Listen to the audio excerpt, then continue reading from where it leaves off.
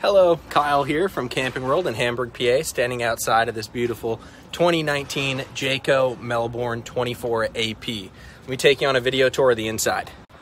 All right, walking inside here, this is on the Mercedes chassis, so you can see up front here. We got our bed up top with the ladder.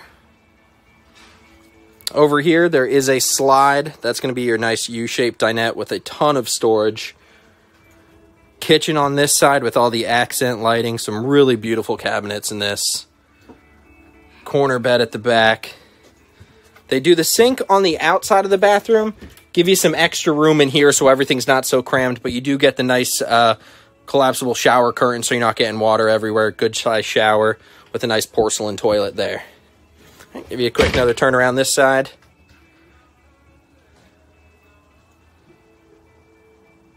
And again, my name is Kyle with Camping World in Hamburg, PA. If you're interested in this Jayco Melbourne or similar motorhome model, give me a call, 610 396 3424.